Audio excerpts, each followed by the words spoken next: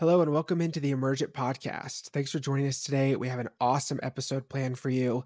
We're diving into the world of Blazor versus JavaScript.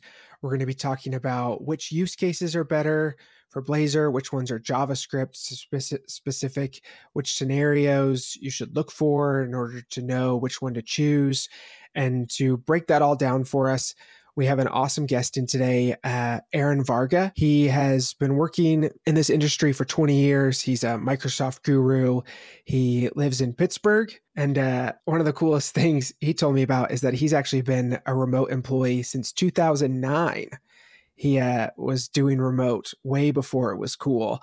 So welcome in, Aaron. Thanks, uh, thanks for joining us. Happy to be here. Thanks for having me. Yeah, for sure. So Tell us a little bit about yourself. What made you want to join, you know, the illustrious software engineering field? Yeah, I know. Well, I've always been kind of a computer geek. Um, you know, very interested in computers and how they work and gaming and software and things like that. And um, you know, I was given opportunities where I went to school to, you know, to intern and help with some of the school software there, and that's kind of where I got my start. Uh, but my first real career position was a Microsoft consultant in Pittsburgh for a smaller consulting company. It actually reminds me of a lot of Emergent. Um, spent some time there working with clients. Eventually, we got bought out by Dell. Uh, and they didn't have a corporate headquarters nearby. So, you know, like you said, I've been a remote employee since 2009. And then from there, you know, spent some time doing the whole consultant thing at Dell, worked on a longer term project, um, you know, built some larger websites for SaaS customers, um, you know, stuff like that. Um, eventually got out of that, went to a smaller consulting firm, and then eventually to Emergent. Cool. So, do you? There's a lot of opinions on engineers when they're in house or on the client side of things. I think you've been working for clients for what over 15 years. Do you? Mm-hmm. Do you like it? What kind of advantages do you think there are working with clients instead of you know working working in house i mean for me personally what i look for in a career is a lot of growth opportunity and chances to learn new things. You know I, I, have a little bit of experience when i was you know at dell working on a longer term project which was which was fine. Um, you know but the the technologies were kind of static you know there wasn't a lot of opportunity to introduce new tech and learn new things there which is kind of why i gravitated back towards um, being a consultant because you get new clients all the time new projects all the time um, so there's a lot of growth opportunity and um, you know opportunity to stay current with the tech, and that's personally what I enjoy. Cool. In the marketing world, that's the world I come from. That's why people like working in agencies, right? Because mm-hmm. you're almost like forced to grow because your clients always want the latest and greatest. And if you can't deliver that, then they'll go somewhere else. At least that's been mm-hmm. my experience. Mm-hmm. So, uh, I guess let's just jump right in. So, can you give us a little overview of Blazor and JavaScript? Especially, it's great because we have two very different skill levels here. You've been working with this for a couple decades, and I am very new to this world. So, give us an overview to those who may not know. Uh, sure. so JavaScript is kind of the, the OG of web development. Um, it's really the standard scripting language for web browsers, um, and enables dynamic content and interactivity on web pages. So, uh, you know, you're you're familiar with browsing websites that have animations, you know, responding to things that you do on the page, you know, such as clicking a button or expanding an accordion, things like that. And that's really what JavaScript is, has been used for primarily. Um, you know, over the years, you know, different frameworks have been built around JavaScript. You may have heard of React or Angular or Vue or some of the bigger ones nowadays. Um, but it's really gained popularity for building complex web applications over time. It provides developers with the tools uh, to really streamline application development. Blazor um, is kind of the, the new cool kid on the block. Um, it was developed by Microsoft, and it's their version of a JavaScript framework. So what it allows to do uh, allows you to do is uh, build interactive web applications using .NET, uh, specifically C Sharp instead of JavaScript. So Blazor applications can run, you know, both on the client and on the server, uh, which is a little bit different than traditional JavaScript applications. It offers component-based architecture, you know, similar to other modern web frameworks. You know, I mentioned React and Angular. Um, you know, components are a big part of all of these but with Blazor, you know, what's what's nice about that is developers can write code for both client side and server side logic using C sharp, and you can share a lot of that code between the two. You know, there's type safety, and it's very very familiar for .NET developers. You know, so in the past, you know, prior to Blazor, um, you know, at least speaking from my experience, you know, a lot of times there would be backend components that would be responsible for interacting with um, a database or third party providers. And there would be a web application built on top of that that did all of its communication over HTTP uh, with that um, you know backend, and that that front end would be built in JavaScript, you know React or Angular, whatever your flavor of the month is. And there really wouldn't be a lot of opportunity for sharing code between the two, just because they're completely different paradigms, different programming languages now with Blazor, since everything is in .NET and C Sharp, um, there is a lot of opportunity for code sharing and reuse, which is super, super nice. Cool. Thanks for that overview. I actually feel like I followed it. So thank you. Thanks for thanks for dumbing it down. I appreciate it. So how long has Blazor been around? That's a good question. Um, my first project with it was about two years ago, and it was maybe in its first iteration then. I'll put a thumb in the air estimate and say three to four years. So relatively new. Okay, cool. Yeah, that is that is really new. So what are the typical use cases where you know you would use Blazor or you wouldn't use Blazor and you'd actually stick with JavaScript? Are there specific scenarios where one is better? Yeah, I mean, it, it, it, depends on a few different factors. So one of the the major benefits um, with Blazor, you know, we can see that with a with a firm like Emergent, where we're specialized in Microsoft technologies, we're a Microsoft partner, is a lot of our employees have skill sets built on the the Microsoft stack. So programming in .NET is very familiar to our staff. And you know, a, a lot of .NET developers traditionally have not necessarily been exposed to building front end web applications. You know, their familiarity with .NET maybe not you know, hasn't translated to React or Angular, and they haven't really had a lot of exposure to building web applications. Well, with Blazor, a lot of those skills that you learned on the back end can be transferable now for Blazor. So all of the same, you know, coding paradigm, syntax, um, .NET packages and libraries that, that you're familiar with, a lot of those can be used on Blazor. So it's a really small learning curve for a lot of the .NET developers. So if your team is primarily made up of .NET developers, you know, focused on the Microsoft stack, um, Blazor is a natural fit for that team. Um, you know, certainly it's still relatively new. Um, you know, there's still infrastructure and libraries being being built up, so it's not quite as mature and robust as JavaScript um, but it's it's gaining a following. There's commitment from Microsoft to keep developing it, um, and it's it's definitely an emerging tech. You know, as to figure out when you would use one over the other, you know, it's it's I guess it, you know if if your team has the skill set on both, it's really um, specific requirements of the project beyond that. So if you you know require extreme front end interactivity, you know JavaScript is probably where you want to go. Um, there's a lot of ways to add interactivity and dynamic behavior to web pages with JavaScript. Um, you know, very, very responsive user interfaces.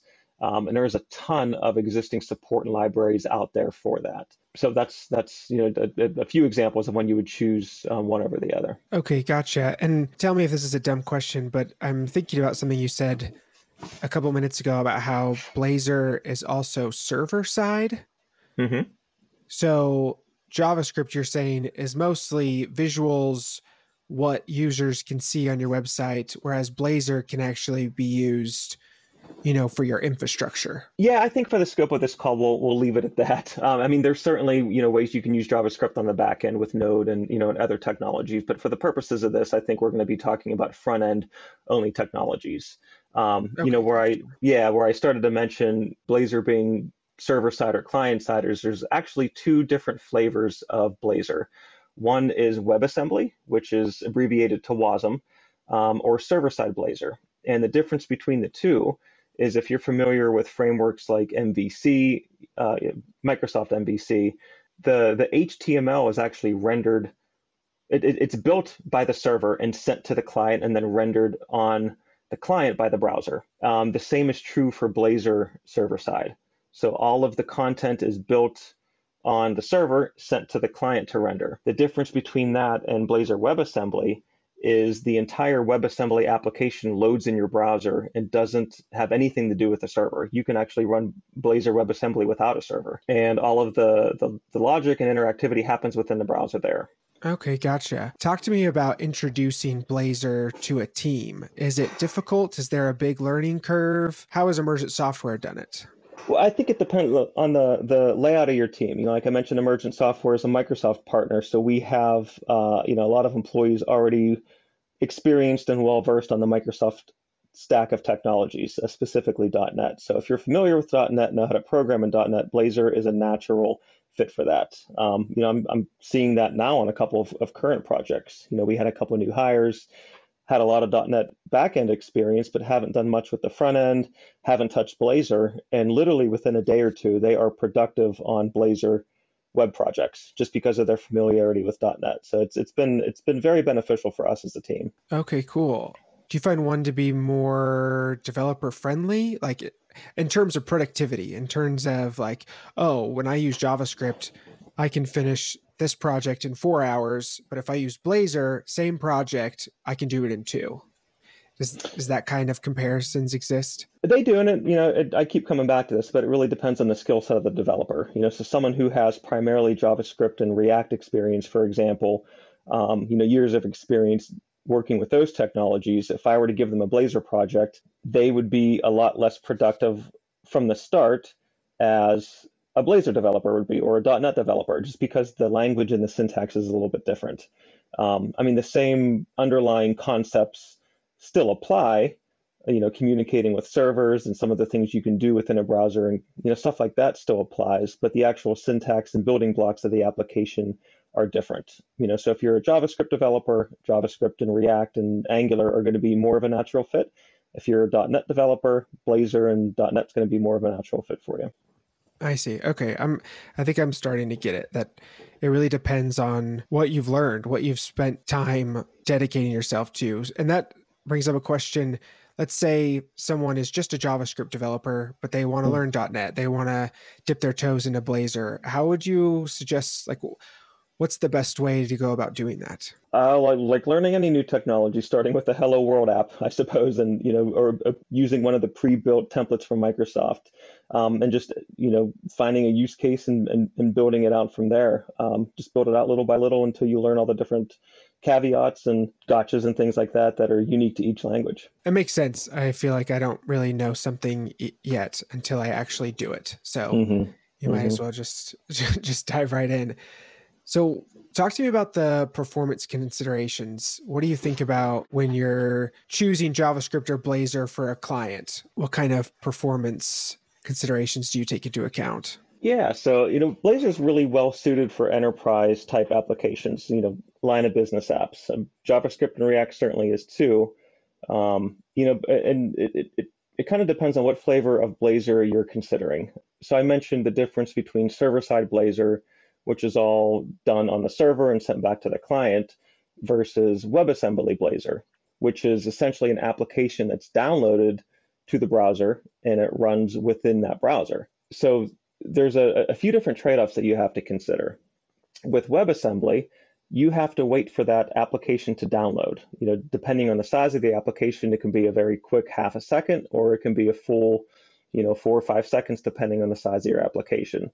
So that might be a non-starter for certain types of projects. You know, if your if your project is going to be mobile only and only going to be used primarily outside of a Wi-Fi network on you know a slower internet connection, um, you know that might be a deciding factor where you don't want Blazor WebAssembly downloading to your client because uh, that could take a little extra time you know another example is if you're if you have a public facing website that you want a lot of content to be optimized for search engines because that content is not rendered on the server with with blazor webassembly and rendered kind of in real time as you access the page it's terrible for seo you know but for line of business applications and enterprise applications blazor is an excellent choice. But there are you know there's trade-offs for either approach. Cool. And kind of what i'm hearing is it really is great to have these two tools because they have different strengths. And when someone comes to Emergent Software and, you know, we talk to them and we ask them what they need and build out a project for them, we're able to use the tools that best fit their needs. Exactly. Yeah. So if you know if a customer were to, were to come to us and ask for a public facing website that needs to rank really high on Google. It needs to have, you know, uh, a very, very pretty UI with crazy animations and behaviors. you know, and it's really about the presentation of the of the application and the speed and the search engine optimization. Blazor would likely not be the best choice for that. But if we had a you know a customer coming to us and just you know essentially wants a data entry application with um, you know forms and data grids and, and different things like that, um, it's not going to be exposed to the internet. Doesn't have to rank high on Google. It's not going to even be indexed. Um, Blazor is likely going to be our suggestion to them just because of the rapid speed of development that our team can deliver. Cool. Thanks for those examples. That that helped me kind of wrap my head around it a little more. So, talk to me about the ecosystems surrounding Blazor and JavaScript. How do how do the available libraries, frameworks, and you know third-party integrations compare? Yeah, well, that's you know obviously one of the the disadvantages of Blazor. You know, because it's so new, um, you know, there's not this long history of community support for it. You know, so there are a bunch of libraries out there, uh, UI component libraries. Um, you know, some examples are MudBlazor or Radzen. Um, you know, some of your more traditional component developers like DevExpress and Telerik have Blazor components as well. So there, there is community support there, um, but it's not quite like JavaScript that's been around forever, you know, and React and, and Vue that has extremely broad community support. There's component libraries and utilities and all kinds of stuff out there for JavaScript that may not be uh, quite there yet for Blazor. You know, that said, because Blazor is built on .NET, um, you know, you can reuse a lot of the .NET libraries that are out there um, natively in Blazor, where you couldn't do that with with JavaScript. So, um, you know, again, it's going to depend on use case. It's going to depend on familiarity of your developers, specifically what the the project entails. You know, for example, you might find you know React components or React libraries out there that meet all of your customers' needs, whereas with Blazor you may not.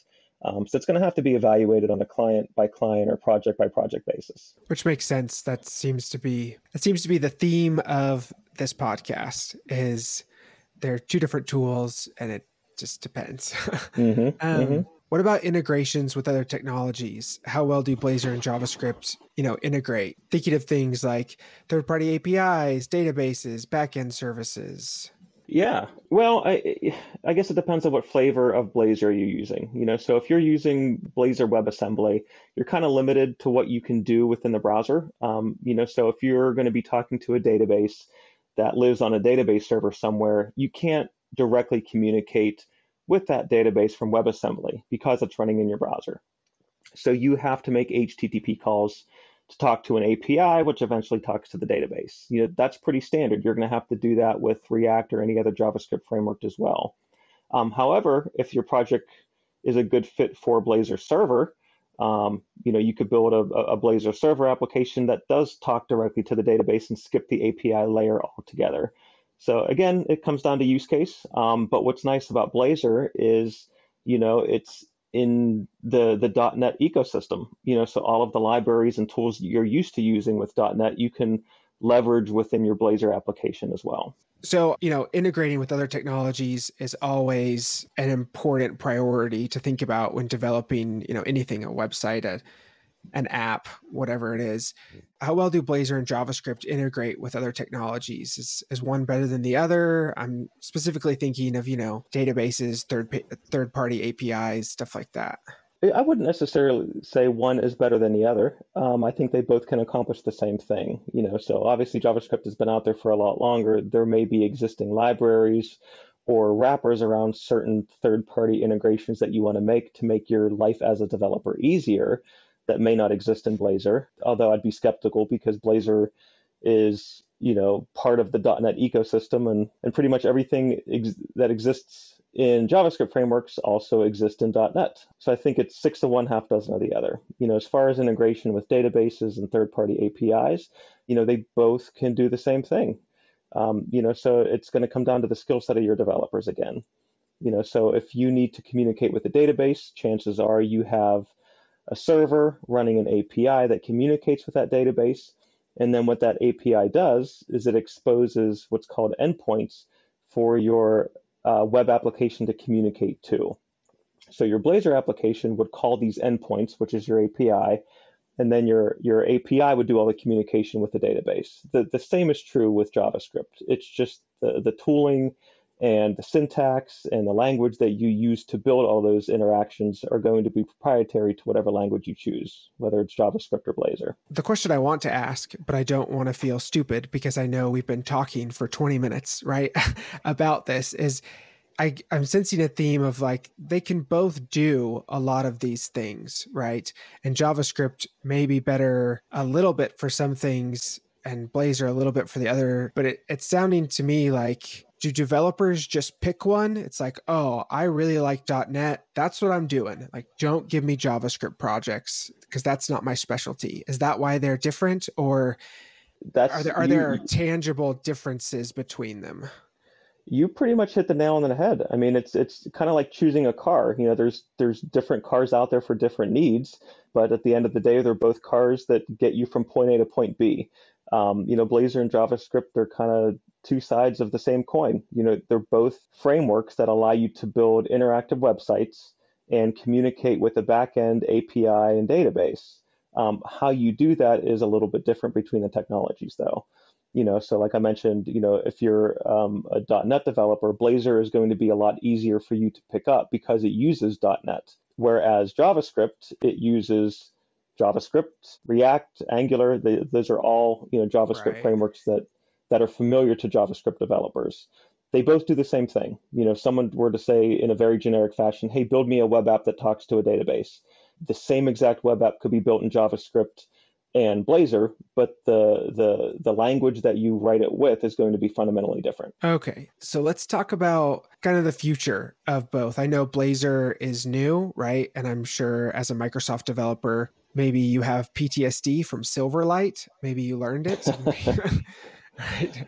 Um, sure. So is, yeah. Is Blazor going to be around? I mean, I have no inside knowledge, but from from my perspective, I think it is. You know, we've already gotten a lot more community adoption and support with Blazor than we have with Silverlight. And for those of you know the you young folks on the calls that may not have heard of Silverlight, um, it was kind of Microsoft's attempt at you know building a, a, a an interactive plugin architecture, you know, way back when, um, kind of analogous to Flash, if you've heard of that.